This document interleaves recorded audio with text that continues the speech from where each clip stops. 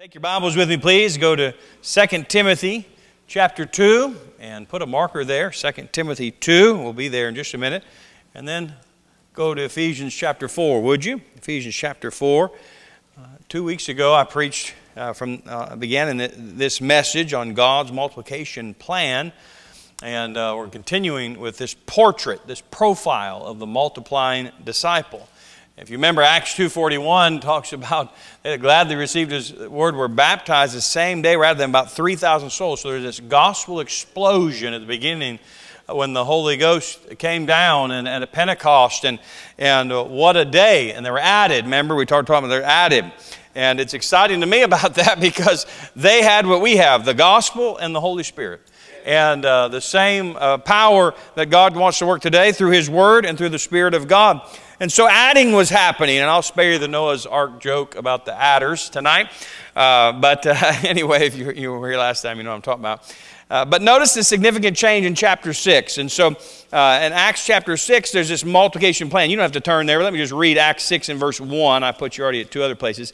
Acts 6 and verse 1, he says, uh, there that multiplication begins. It was just adding, adding now. And in those days when the number of the disciples was multiplied, there arose a murmuring of the Grecians against the Hebrews because their widows were neglecting the daily ministration. So we see this M and M ordered, multiplied, ministry, murmuring. And when members multiply in a church, then additional, additional ministries uh, are needed in a church, uh, both to minister and provide for them, like these widows, but also to engage them in the work of the Lord. Uh, God wants everybody involved in His work. He didn't save you to sit in a church. This is not the work. This is the charge station. This is plugging in the phone so you can use it tomorrow. This is plugging in your laptop so it'll work tomorrow. This is the charging station so that you can do the work God's called you to. Uh, Ephesians 4, if you'd look there with me.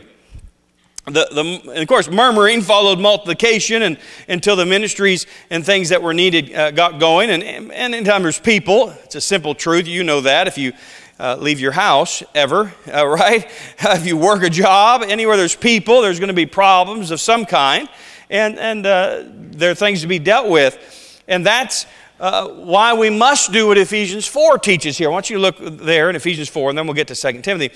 But Ephesians 4, uh, beginning in verse uh, number 11.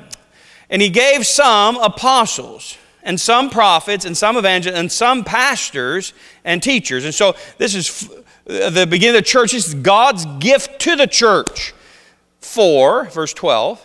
So he gave this, no period at the end of verse 11, it's a semicolon, for the perfecting of the saints, for the work of the ministry, for the edifying of the body of Christ. Now, I'll stop there. It's still, still the same sentence, still not, not a period. But God's there teaching us that what God gave to the church was not to do all the work of ministry and to do all the perfecting of the saints, but that they would bring the saints to maturing so that then they could do what these uh, were doing, these gifts were doing in the church. And so this was for that. God said, Here are these gifts to the church. He gave some. Who, who did that? God did. Apostles, prophets. And we know apostles, that is no longer. Prophets, there's no more foretelling. There still is the forthtelling. Most of the prophets' work in the Bible was not foretelling future revelation, but was just the forthtelling what God had already said. Thus saith the Lord. And then, of course, some evangelists and some pastors and teachers. Those are ongoing. And he did that for the perfecting of the saints. Well, the perfecting means to bring to maturity, bring to full growth, bring to the place of adulthood. Now, he's going to hit that again in verse 14 or 15. We'll read it in just a minute. So he wants to bring you to maturity. Why? So you can be mature, so you can sit back and say, oh, now I can really keep up with what's being preached here and make sure it's right. No. So you can use what you've been soaking in the sponge for someone else. That you can be a channel, not a sponge, to get fat and, fat and, and swelled up with, right? No, I want to be, I want to use this for God. And so for the perfecting of the saints, for the work of the ministry. And so the work of the ministry is not to some select few. Uh, that is what's wrong with the Catholic Church and all that have followed that uh, doctrine of the Nicolaitans, which thing I hate, Jesus said in Revelation. And it is the idea of the clergy and the laity, professional Christians, and you laity, you just listen to what we tell you. You don't worry about the Bible, don't read that. I'll tell you what you need to know.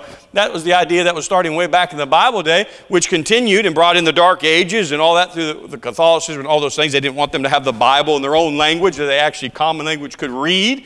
I don't need to give you a history lesson, but but that's what I'm talking about. God's word would have cleared up all that because there is no professional Christians. We're all to be servants of the Lord.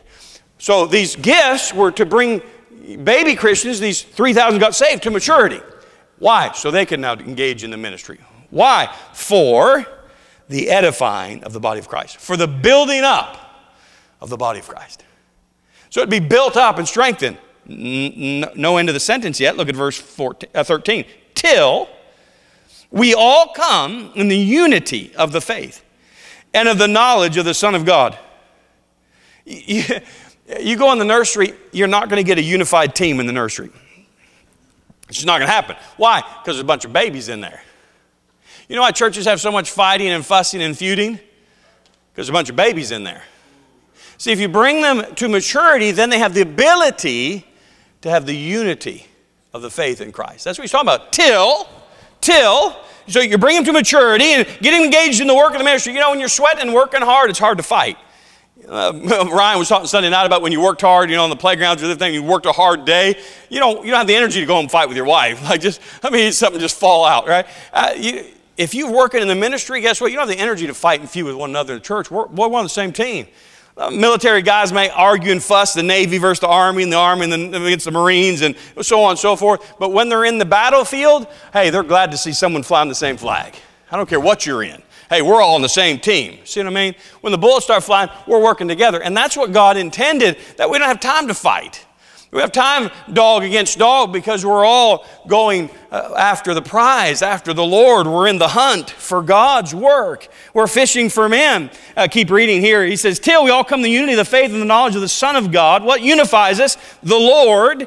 We're having this mind, let this mind be in you, which was also in Christ Jesus, Philippians 2 5, unto a perfect man, unto the, here it is, the measure of the stature of the fullness of Christ. Still not a period. We'll keep going just a minute. But this is the measure of your Christian life. This is the measure of any church. Not its size, but its sort. The measure of the stature the fullness of Christ, meaning its Christ likeness.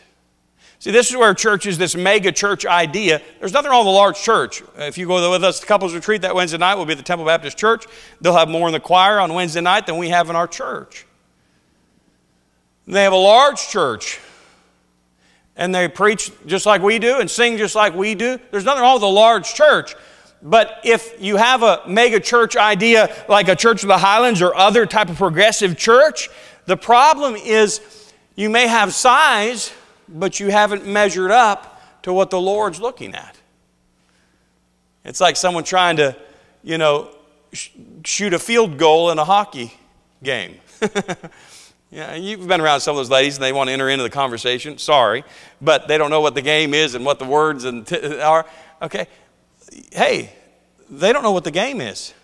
The game isn't how many we can pack in and have an empire of a church. That's not the game. That's not the goal. The goal is the measure of the stature of the fullness of Christ. So the goal of the church is not uh, just to have a big crowd, it's to be Christ like. Now, Christ like is fishing for men and reaching people. I get all that. But we don't compromise the truth to reach people because what are you reaching them to? We could talk about that all night. Okay, so this is what he says. Here's the measure that we henceforth be no more children. Time to grow up. That's what he's saying. That we henceforth be no more children tossed to and fro and carried about with every wind of doctrine by the sleight of men and cunning craftiness, whereby they lie in wait to deceive. Still no period. But speaking the truth in love may grow up into him in all things, which is the head, even Christ. From whom? The whole body, fitly joined together and compacted by that which every joint supplies. You ought to mark the word every. According to the effectual working in the measure of every part. You ought to mark the word every. Making increase of the body unto the edifying of itself in love, period. Boy, the Holy Spirit can write a sentence, can he? I hate to have to diagram that sentence. But God is helping us understand if God's work is going to be done God's way, then everybody's in the game. Everybody's a participant. Everybody is in the struggle and in the fight and engaged in the work. And those that want to just go to church and think they've done for the week, then they have missed everything God's Word is talking about. Praise God for church and praise God for the recharge and praise God for the Word of God. But that is not the goal. That is, like I said, the recharge station so we can go work at the goal, which is the work of God in this world. Go ye into all the world and preach the gospel uh, to every creature. And so God's plan is outlined here in Ephesians, and it's simple truth here. Uh, that if we'll uh, do what the Word of God says, look, we must never underestimate the value of one soul addition. Praise God for the addition. But our Lord does not have such a small goal for you or for me or for that one soul. God wants to take that one soul and not make it just an addition, but now a multiplication factor in the work of God. Is much more planned for you and for me and for every believer than just addition. He wants to multiply. So we need to immediately stop asking, How many decisions? How many additions did you have? And begin asking, How many disciples are you building? That's the question. This is where the emphasis of Scripture is being a disciple, a follower of Jesus Christ. We're not simply looking for a decision, a prayer prayed, but a follower, a disciple of the Lord.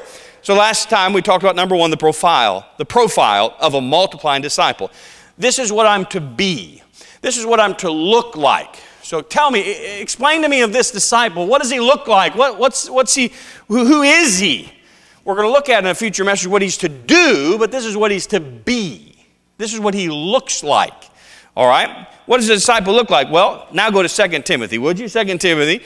And we find seven pictures in 2 Timothy chapter 2 of a disciple. This is the classic passage. You know 2 Timothy 2 2, right? The things that thou hast heard of me among many witnesses, the same commit thou to faithful men who shall be able to teach others also. So there's that famous passage. Well, in this passage, he gives seven pictures, and every picture supplies a part of the full picture or profile or portrait of a New Testament disciple. Last time we just got to the first one, a son. A son, verse 1 and 2. Thou therefore, my son, be strong in the graces in Christ Jesus, and the things that thou hast learned of me among many witnesses, the same commit thou to faithful men who should be able to teach others also. We talked about this last time. On a missionary journey, he meets a man named Timothy. He meets grandma and, and mother, Eunice and Lois, and, and, and he leads him to Christ, it seems, or maybe he'd been saved, but he begins to disciple him. He sees an aptitude for the Lord, sees a desire for God. And the next journey, he meets him. He says, Come on, come with me. Me? How am I going to help what you're doing?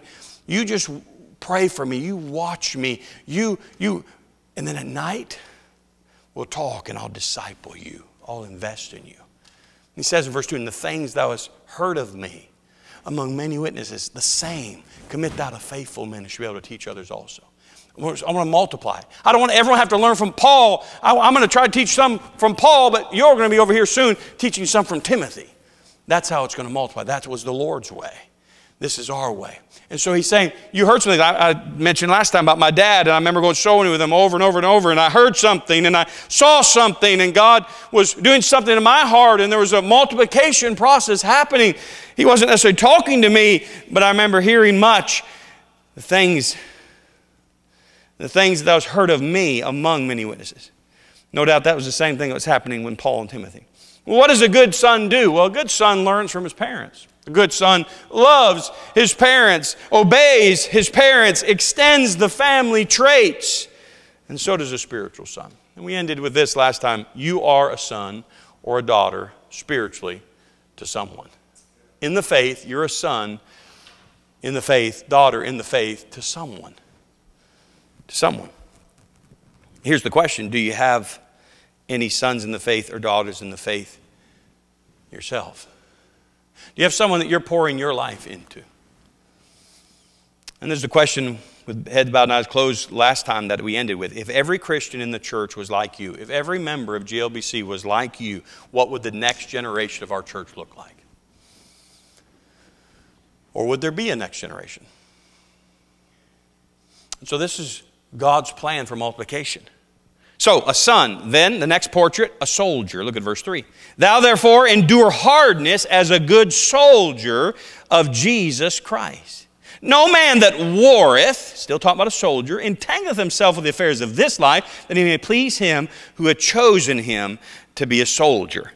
Now turn over to Matthew chapter 6, if you would, for just a minute. What does a good soldier do? Well, a good soldier, he abandons all his plans, all his purposes to fulfill the duty assigned him. What does a good soldier have? A good soldier has a mission. He's got a mission. The mission is the important thing. He has a mission. Well, guess what? God has called us to a mission. We call it the Great Commission. Go ye, right? A soldier doesn't think, what am I, what am I going to eat? What am I going to drink? What am I going to wear? Don't worry, they'll tell you all that. A soldier doesn't plant crops. Why? Food is provided for him. He has one thing to do, and that is to get in the fight and engage in the mission that God has given him, or in this case, uh, the captain, whatever, has given him. That's what a soldier does. Remember the Sermon on the Mount? Christ's discipleship course, if you will, for his uh, disciples there in Matthew chapter 6. Remember at the end there, as he's uh, uh, coming to the end of Matthew 6, he says there in verse 25, Therefore I say unto you, take no thought for your life, what you shall eat nor what you shall drink, nor yet for your body what you shall put on. Is not the life more than meat and the body than raiment? I love that thought because he's saying, Do you think I just made your body for food? You think I just made your body for clothes? No, there's more to life than food. I know that's hard to believe for us guys, but there's more to life than food. And ladies, there's more to life than clothes, all right? There's something bigger, something more. And that's what he's saying here. Keep reading. Well, defiles the air. They sow not, neither they reap, or gather into barns, yet your heavenly Father feedeth them. Are you not much better than they? Which of you, by taking thought, can add one cubit into his stature? And why take ye thought for the raiment? Consider the lilies of the field, how they grow. They toil not, neither do they spin. Yet I say unto you that even Solomon, great King Solomon, all his glory was not arrayed like one of these. Wherefore, if God so clothe the grass of the field, which today is and tomorrow is cast in the oven, shall he not much more clothe you, O ye little faith? Therefore, take no thought, saying, What shall we eat? Or what shall we drink? Wherewithal shall we be clothed? For after all these things do the Gentiles seek. For your heavenly Father knoweth that ye have need of all these things. But seek ye first the kingdom of God and his righteousness, and all these things shall be added unto you. What is he saying? He's saying the lost, the heathen, even the Gentiles, he's saying they, they, they are worried about what we're going to eat. What we're we going to wear? He said, come on, I don't think about that. But that's not, not really true, is it? If this was Sunday morning, you all be like, where are we going to have? What are we going to eat? Where are we going to go to eat after? You know, uh, we're, we're always thinking about it. Maybe you're thinking right now, yeah, that's right. I got a piece of pizza left at the house. I'm going to have that after. You know, right? We're, we're always thinking about what we're going to eat. But he's saying, hey, that's what this world, what, what's the new outfit? What, what Christmas dress? What Easter dress? What, you know, the new thing? Always those type things. This is the people of the world. But that's the low level purposes of life. That's the low level stuff. Hey, you're a soldier. The Lord has called you to some mission that is higher than that. That's what he's saying. No, you don't. That's what they're worried about. Verse 34, he concludes Take therefore no thought for the morrow. The morrow should take for the, thought for the things of itself. Sufficient the day is evil thereof. What should I do then? Verse 33 But seek ye first the kingdom of God, the mission, and his righteousness. All these things will be added unto you.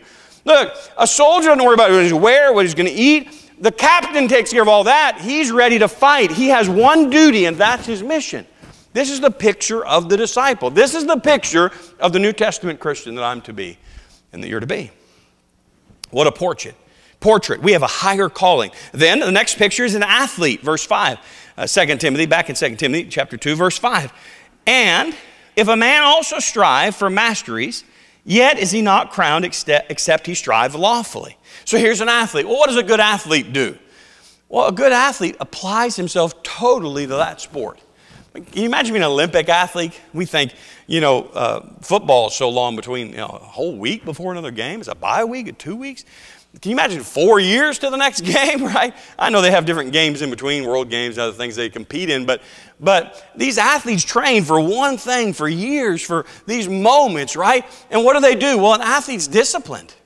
They have to say no to many things. He says no to lots of things for the bigger yes, right? I can't eat pizzas and all these different things all the time. I have to eat certain things for my body to be able to perform at, at this level. And, and I, I have to exercise so much. I got to get up so early to do all my exercise and running or whatever the thing is. He steadily masters uh, the required skills and strives for mental discipline as well as physical to excel. That's what an athlete does. Well, a Christian disciple will do no less in following Christ. That's what he's saying, verse 5. Then the next picture is a husbandman. Verse 6. The husbandman that laboreth must be first partaker of the fruits. A husbandman, what's that? Well, a farmer, right? A farmer. What does a farmer do? What does a good farmer do? He labors. Uh, he labors. he labors, right? And you grow up on a farm, your family farm, okay? Uh, few. Farmers, that's hard work. I mean, especially before, I mean, now the, some of these tractors, no one's even driving them anymore. Do you know, they have GPS, computers. It's unbelievable. That's true. It used to be, though, the old mule and different things. I mean, hard, hard labor and work, and still lots of hard work. But what does he do? Well, he breaks up the soil. He, he sows the seed. He, he cultivates the, he reaps the crop. He, he puts seed away for the next year. He, he, he's sowing, he's reaping, he's multiplying. Then, a workman. Look at verse 15. Study to show thyself approved unto God, a workman that needed not to be ashamed, rightly dividing the word of truth. As Christian disciples, we're here to labor, not to loaf. To labor, a workman. He says, Study to show thyself approved unto God, a workman that need not be ashamed, rightly dividing the word of truth. Uh, 1 Corinthians 15 58, therefore, my beloved brethren, be ye steadfast, unmovable, always abounding in the work of the Lord, for as much as you know that your labor is not in vain in the Lord. Well, who did he write that to? Must have been a pastor somewhere or, or, a, or a missionary somewhere or uh, the apostle. No, the apostle, by the inspiration of the Holy Spirit, was writing that to the church at Corinth. Therefore, my beloved brethren, be ye steadfast, unmovable, always abounding in the work of the Lord.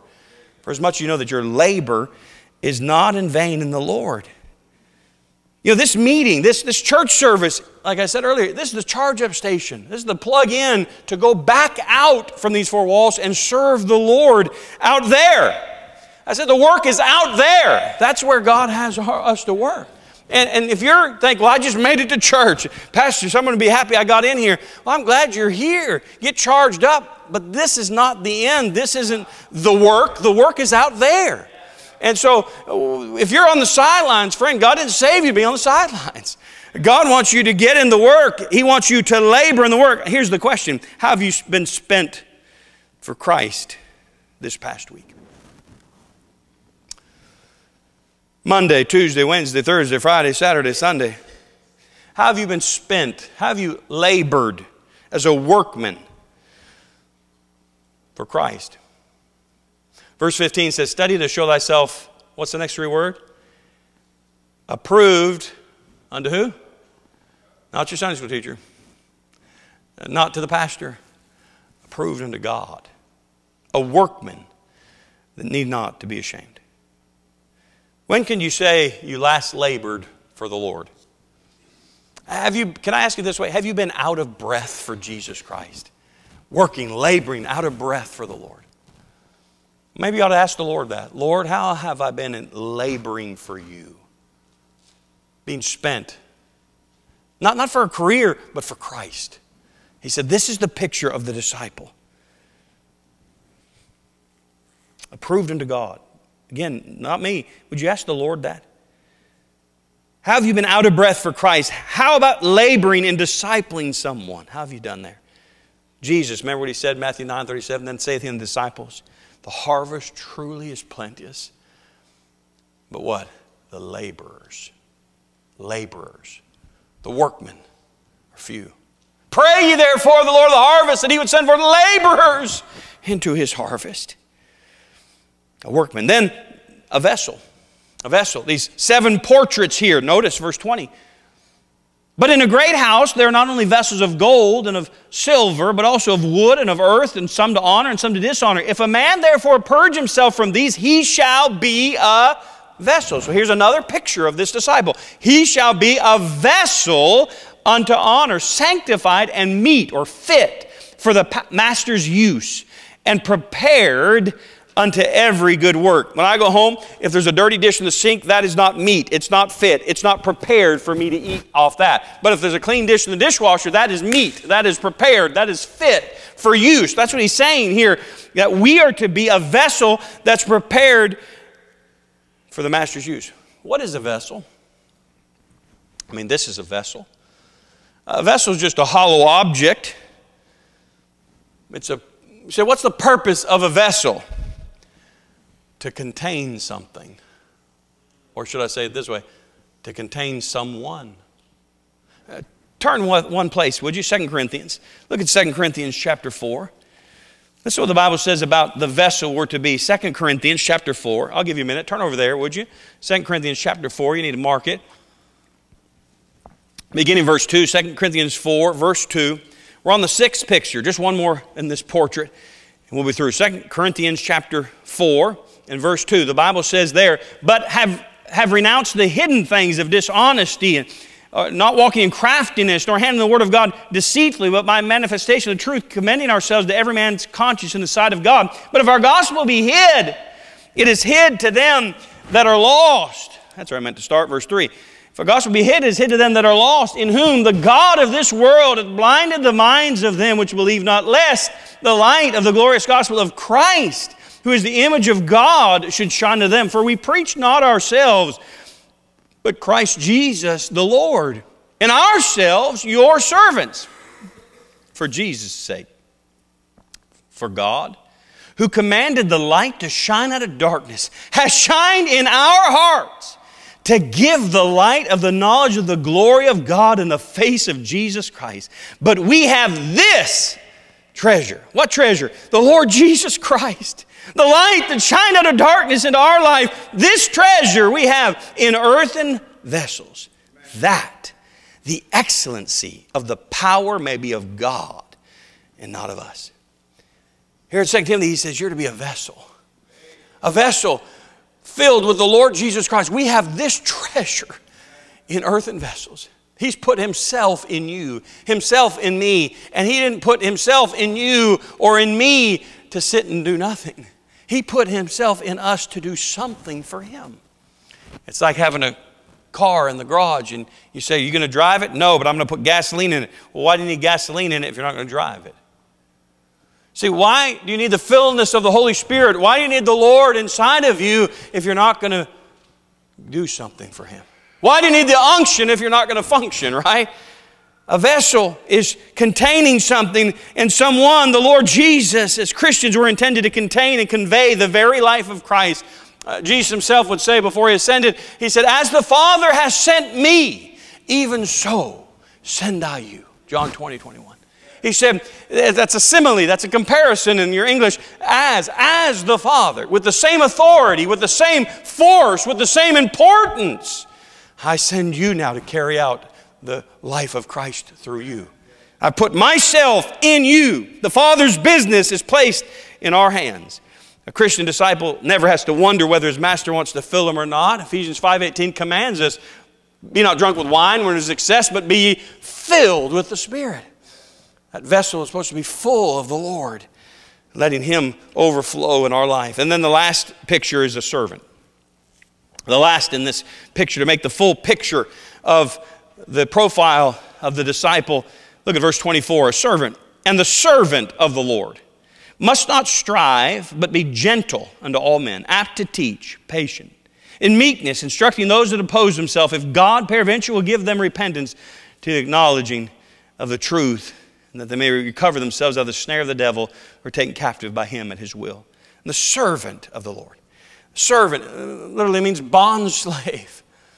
Look, a servant a slave which we are willingly. We're a love slave. Uh, we didn't, we're not, we don't, not a servant because we have to be. We're one of the servants that we had a good master. We loved our master. Said, I want to stay with my master. And so they put the ear to the door in, in, in the Bible days and born all through it uh, would say to everybody this, slave has a good, good master and he wanted to stay with his master. He didn't want to go free. That's what we have. We have a good master, and I don't ever want to be free from this. He's the one that set me free from the chains of the devil and the chains of sin. I want to stay with him. And so the servant, the slave, uh, he has no will of his own. Uh, he has no schedule of his own. You know, Pastor, you don't understand the schedule I have. Listen, don't talk to me. You got to take that up with the Lord. He's your master. He's the one that said all this. Uh, you'll answer to the Lord. No schedule, no rights of his own. The servant has no property of his own. He's a steward. He's completely dependent on his master. He's completely at his master's disposal. However, he's not lacking resources, praise the Lord. Uh, the master's checkbook also provides where he guides and leads. Just like that soldier, he doesn't pay for the battle. The, the nation, the captain, they take care of all that, all the supplies. And so it is with the Christian disciple. So, number one, we see the profile of a multiplying disciple. This is what I'm to be, what I'm to look like. This is what a disciple looks like. Seven portraits of it there in chapter 2, 2 Timothy.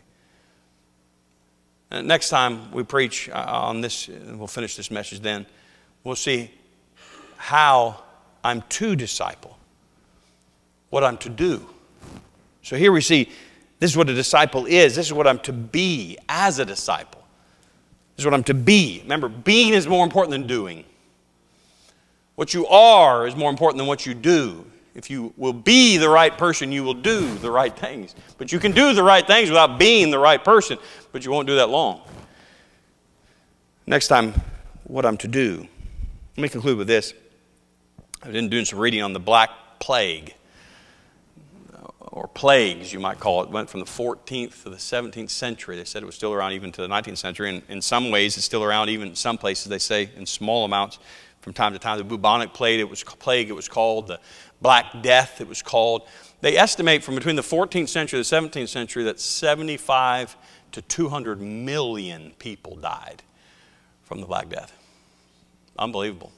There were some cities, and I saw pictures of, of what, or, or drawings of what the, the mass graves. There were some cities that, can you imagine? The city, 40% of the city died. Some places, 50%, as much as 60%. Can you imagine that? The greater Birmingham area here, a million people. Can you imagine if 600,000 or half a million people died? Just unbelievable The amount of death. Well, as you start looking at that, they, there's two, two parts to it. They say that it was not the rats that, that caused the, the, um, uh, the plague to, to, transmit, but the fleas on the rats. Well, I don't know. They also, also, as you read about, they said there was a pneumonic effect. There was a, uh, even a coughing and breathing of, of, it as well. But it's very interesting. It went all over the world. And those rats, or the fleas on the rats, uh, they didn't make a special trip to deliver the Black Plague. They were just going. They were just going about their regular life. But it transmitted, it infected all over thousands millions. See, that's what God intended for, for me and for you. That's what, that's what Paul is saying to Timothy. Timothy, the things thou hast heard of me, the infecting you've heard of me with the gospel, if you will, this contagion, this, this the Lord that has captured us, that consumed us, the love of Christ constraineth me. His love has changed me. We have to infect others with that. The things thou hast heard of me among many witnesses, the same, the same commit thou, deposit into, infect. The same to faithful men who should be able to teach others also. Charles Spurgeon, let me read what he wrote on joy, this joy contagion. There's a marvelous medicinal power in joy.